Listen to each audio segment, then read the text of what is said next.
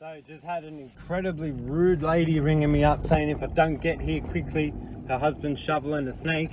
If her husband shovels this snake, I'm gonna grab the shovel and hit him with it.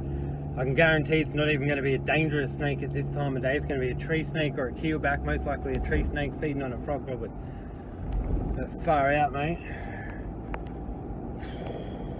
Just got that feeling something bad's happening here. How you going? How are you? Is he still there?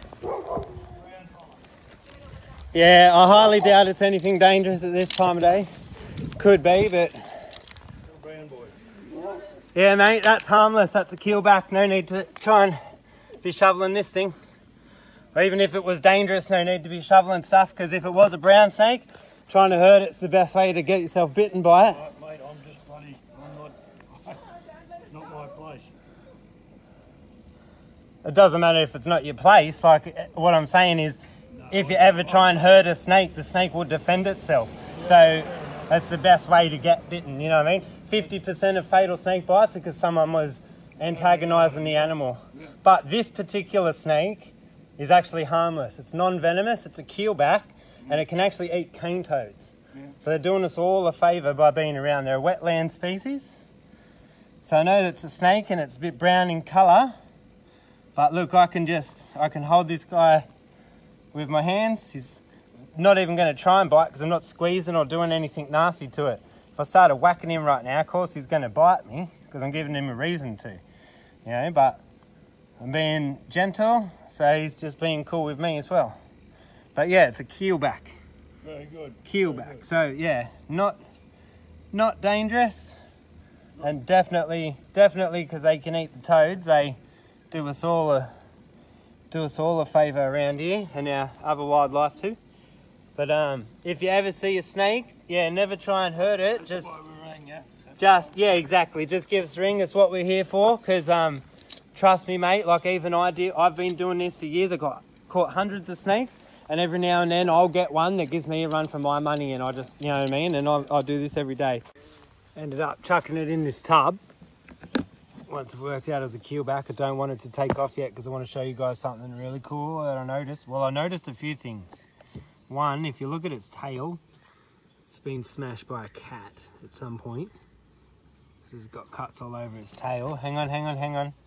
So there is a there's a very brown keelback, orange as well on the flanks there. But you can see this these wounds. It's definitely been done by a cat at some point, which is unfortunate. But they do look healed up. Hopefully, I mean, there's no, it's not fresh wounds or anything, so I don't think, don't think old mate did it. don't think he actually whacked the snake. I think he just wanted to. Um, but yeah, it's a nice brown one. But what I noticed is this one, just like this morning's one, is gravid. So I'm being very gentle to touch it. But if you look under her belly, I hold her up there, you can see the lumps. So congratulations, darling. You're going to be a mum. So I found a nice little spot for you down here for you and your bubs. Okay, I don't know if you want to go into the water right now, but you might after all of that.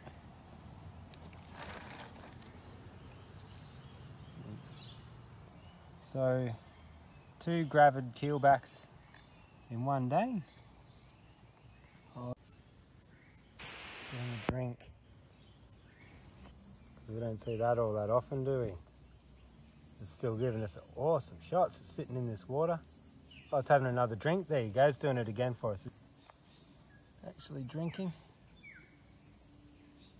Moving its throat as it swallows the water.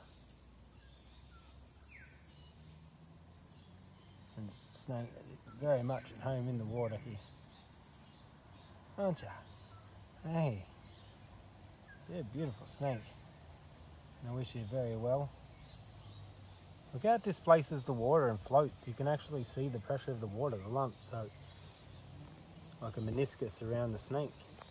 That's fantastic.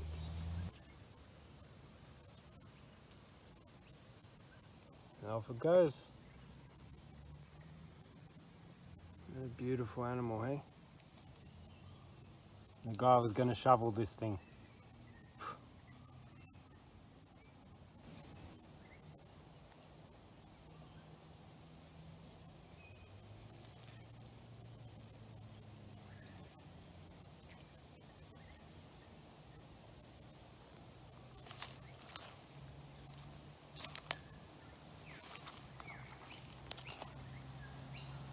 Off he goes.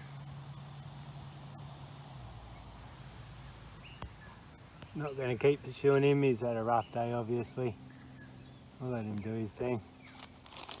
See you, buddy.